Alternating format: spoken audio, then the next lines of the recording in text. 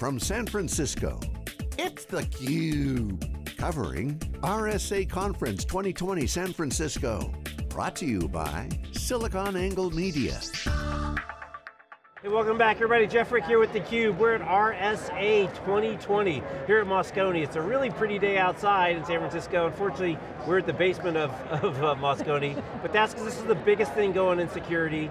It's probably 50,000 people. We haven't got the official number yet, but this is the place to be and security is a really, really, really big deal and we're excited to have our next guest. I haven't seen her for a little while since Data Privacy Day. I tried to get Scott McNealy to join us. He unfortunately was predisposed and couldn't join us. It's Michelle Finucane-Dennedy. Just as good. In her new job, the CEO of DrumWave. Michelle, great to see you. Great to see you too. I'm sorry I missed you on Privacy Day. I hope I you know, celebrated. I know. So DrumWave, tell us all about DrumWave. Last we saw you, this is a new adventure since we it's last a new spoke. adventure, so this is my first early stage company. We're still seeking Series A. We're a young company, but our, our mantra is we are the data value company. So they have had this very robust analytics engine that goes into the heart of data and can track it and map it and make it beautiful. And along came McNealy, who actually sits on our board. Oh, does he? And they said, we, have need this, someone. This, this weave. It's all happening. so um, they asked Scott McNealy, who is the craziest person in privacy and data that you know? And he said, oh my God, get the Dennedy woman.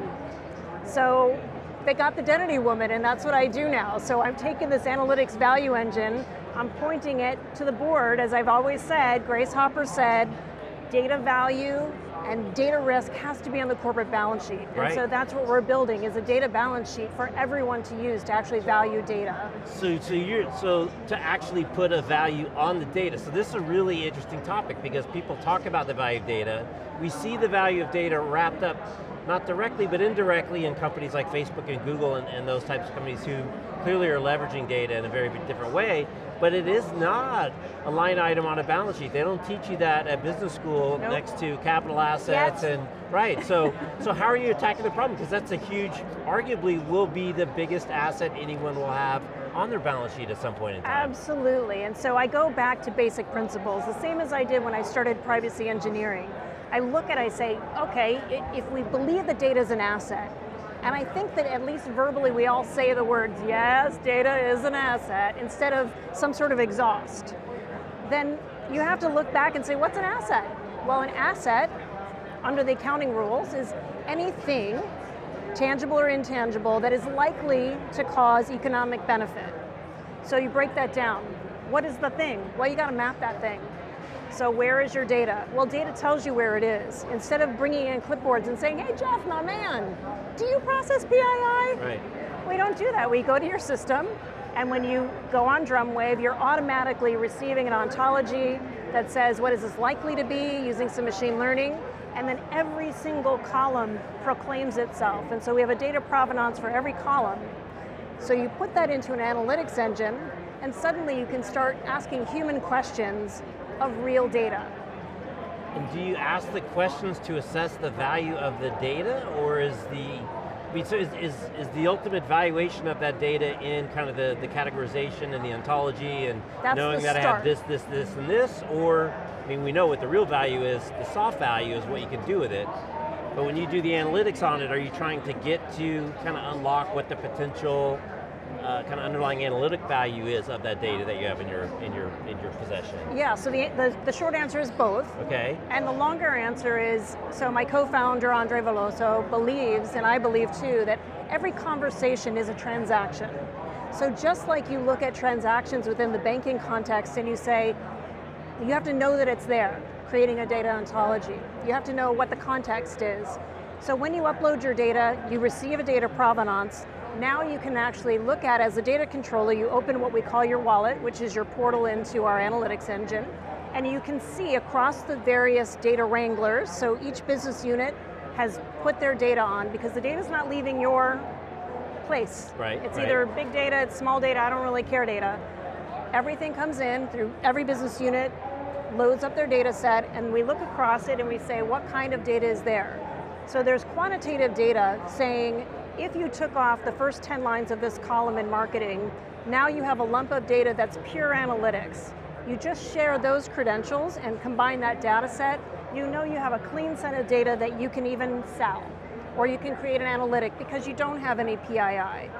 For most data sets, you look at relative value.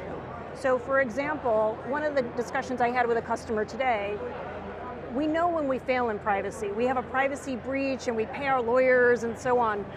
Do you know what a privacy success is? Hopefully, it's like it's like an offensive lineman. You don't hear their name uh, the whole game, right? You're never gonna hear get their a name. holding call, right? Until they put the ball in the hole. So who's putting the ball in the hole? Sales is a privacy success. You've had a conversation with someone who is the right someone in context to sign on the bottom line. You have shared information in a proportionate way. If you have the wrong data, your sales cycle is slower. So we can show, are you efficiently sharing data? How does that correlate with the results of your business unit? Marketing is another privacy success. There's always that old adage that we know that 50% of marketing is a waste, but we don't know which Uh, 50%. Right, right, right. Well, now we can look at it and say, all right, marketing can be looked at as people being prepared to buy your product or prepared to think in a new persuasive way. So who's clicking on that stuff? Has, Right. That used to be the metric. Now you should tie that back to how much are you storing for how long related to who's clicking and tying it to other metrics. So the minute you put data into an analytics engine, it's not me that's going to tell you how you're going to do your data balance sheet. You're going to tell me how dependent you are on digital transactions versus tangible building things, selling things, moving things, but everyone is a digital business now, and so we can put at least the intelligence on top of that so you, the expert in value, can look at that value and make your own And, conclusions. and really, the, what you're talking about then is tying it kind of to my known processes. So you're almost kind of parsing out the role of the data in doing what I'm trying to do with my everyday business. exactly. So that's very different than looking at, say, something like, say, a Facebook or, or an Amazon or, or a Google that are using the data, not necessarily, I mean, they are supporting kind of regular processes, but they're getting the valuation bump because of the it. Right, Yes. or, or selling it, or doing new, new businesses based on the data, not just the data in support of the current business. Exactly. So is that part of your program as well, do you think? Absolutely, so we could do the same kind of ontology and, and value assessment for an Apple. Apple assesses value by keeping it close, and it's not like they're not exploiting data value, it's just that they're having everyone look into the closed garden, and that's very valuable. Facebook started that way with Facebook circles and way back when, Right. and then they decided when they wanted to grow, they actually would start to share. And then it had some interesting consequences Yes, yeah. along the line. So you can actually look at both of those models as data valuation models. How much is it worth for an advertiser to get the insights about your customers, whether or not they're anonymized or not? And in certain contexts, so healthcare, you want it to be hyper identifiable. You want it to be exactly that person.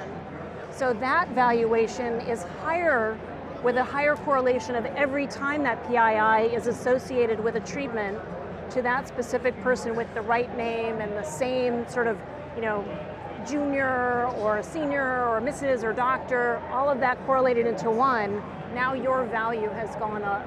Whether you're selling that data or what you're selling is services into that data, which is that customer's needs and wants.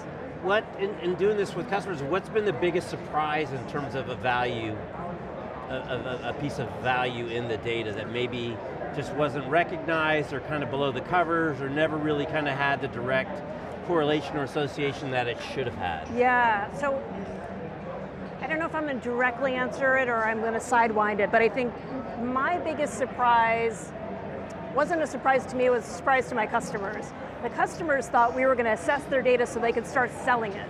Or they could buy other data sources, combine it, enrich it, and then either sell it or, or get these new insights. And That's what they brought you in for. yeah, Okay. I know, cute, right? Right. All right. yeah, so I'm like, okay. The aha moment, of course, is that first of all, the the oh my god moment in data rarely happens. Sometimes in, in big research cases, you'll get an instance of some biometric that doesn't behave organically, but we're talking about human behavior here. So the aha, we should be selling phone data to people with phones should not be an aha, that's just bad marketing. Right, right. So instead, the, the aha for me has been A, how eager and desperate people are for actually looking at this. I really thought this was going to be a much more steep hill to climb to say, hey, data's an asset. I've been saying this for over 20 years now, and people are kind of like, yeah, yeah, yeah now for the first time I'm seeing people really want to get on board and look comprehensively. So I thought we'd be doing little skinny pilots. Oh no, everyone wants to get all their data on board so they can start playing right. around with it. Well, so that's been a really like a wake up call for a privacy gal. Right, well it's kind of interesting because you're kind of at the tail end of, you know, kind of the hype cycle on big data, right? Yes. With Hadoop and and, and, and, all that that represented it and went up and down and everyone, nobody had. Well, we thought more was more we thought more was more, but we didn't have the skills to manage it, and, and there was a lot of there was a lot of issues. But and so now you never hear about big data per se, but data is pervasive everywhere. Data management is pervasive everywhere. Absolutely. And again, we see the crazy valuations based on database companies um, that are clearly and data privacy that. companies. I mean, look at the market in VC land, and, and any VCs that are looking at this talk to mama. I know what to do. Uh, but we're seeing, you know, one feature companies like blowing up in the marketplace right now. People really want to know how to handle the risk side as well as the value side. Right. You know, am I doing the right thing? That's my number one thing that not CPOs are because they all know how crazy it is out there but it's, it's chief financial officers are my number one customer. They want to know that they're doing the right thing, both in terms of investment, but also in, in terms of morality and ethics. Right. Am I doing the right thing? Am I, am I growing the right kind of business? And how much of my, my big data is paying me back or you know, going back to accountancy rules, the definition of a liability is an asset, uh, an asset that is uncurated. So I can have a pencil factory because I sell pencils, and that's great. That's where I house my pencils. I go and I get, but if something happened and, and somehow the root driver disappeared and that general manager went away, now I own a pencil factory that has holes in the roof, that has rotting merchandise that kids can get into, and maybe the ceiling falls, or the fire. All that is, if I'm not utilizing that asset, is a liability. And we're seeing real money coming out of the European Union. There was a hotel case where the data that they were hoarding wasn't wrong. It was about real people who had stayed at their hotels. It just was in the 90s. Right, right. And so they were fined 14.5 million euros for keeping stale data. An asset had turned into a liability. Right. And that's why you're constantly balancing, is it value, is it risk? Am I taking so much risk that I'm not compensating with value and vice versa. And I think that's the new aha moment of really looking at your data valuation. Yeah, and I think that was part of the big data thing too, where people finally realize it's not a liability. Thinking about I got to buy servers to store it, and I got to buy storage, and I got to do all this stuff. Yep. And, they, and they just let it Data's fall on the free. floor.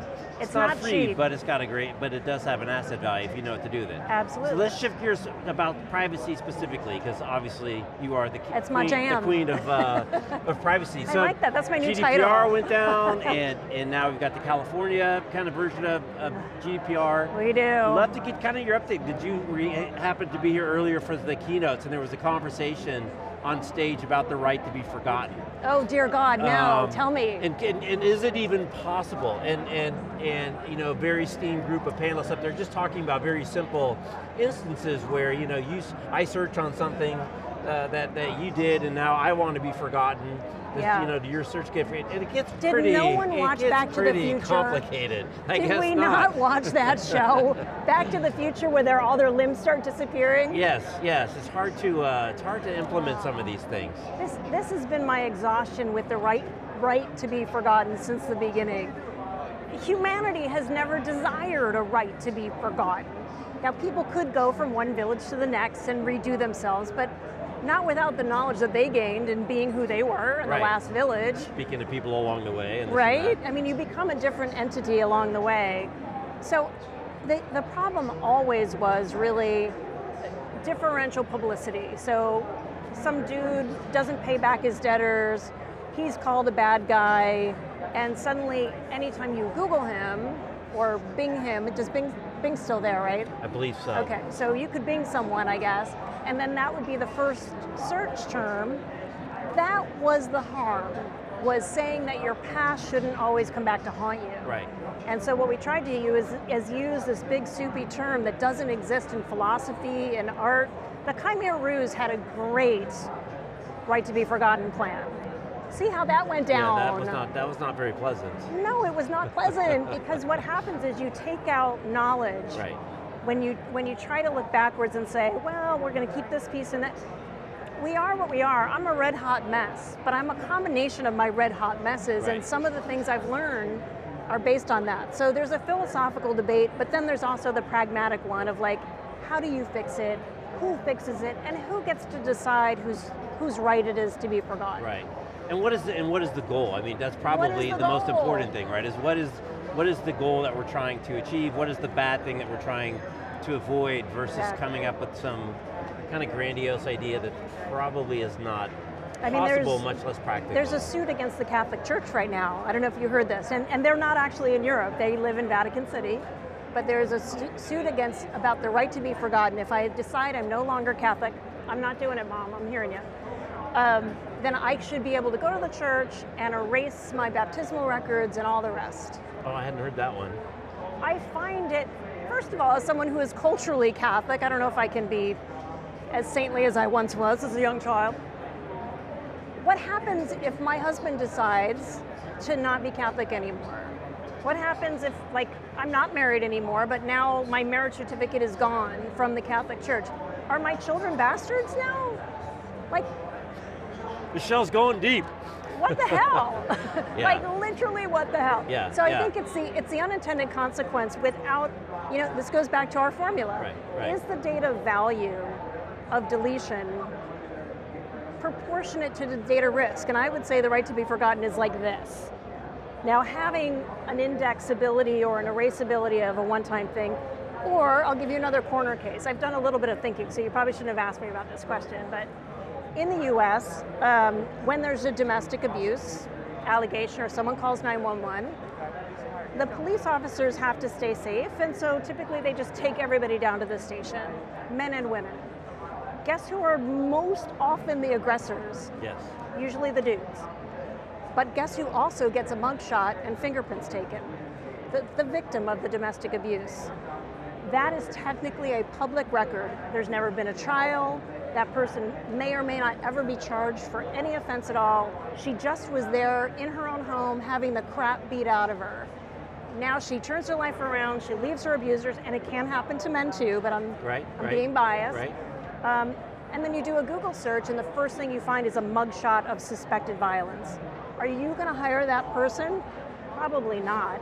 Well, it begs begs a whole Are you supposed to do that? Of course not. You know, this is the generation where everything's been documented all along the way. So whether they choose or not choose, or want or don't want, and how much of it's based on surveillance. But that has always that been a public document. know. Right. I thought you were going to say, and then you ask Alexa, "Can you please give me the recording of what really went down?" Which has Right. also been well, that'll happen too, right? It, it has happened. It- Yeah. It, has happened actually, and which then you say, hmm, well, is is having the data worth the privacy risk to actually stop the perp from continuing the abuse? Exactly. And, and one of my age old mantras there's very few things that rhyme, but this one happen does. But if you can't protect, do not collect.